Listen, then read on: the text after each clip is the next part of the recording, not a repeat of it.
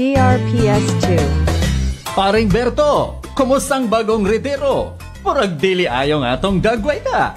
Darjod ta pre, Nga naman di ay. kini man jod na mga linding, nadaman taning ilang giingong take home, kana abang 3 to 5 years loan.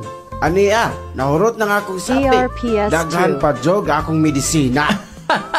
Kada kong say ana oy. Ako short term lang jud. Basig kinahanglan ko mag-loan, reloan jud dayon ko. Mao ba?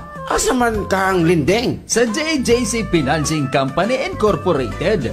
Sa JJC, giprotehiran nilang ilang mga followers. DRPS2. Abi na jud pareho natong mga retirees. Og ilang panuyo, dili malubong sa utang ang ilang mga followers. Adi ay, magpa-GG sining lawasa da. Maayo na pre!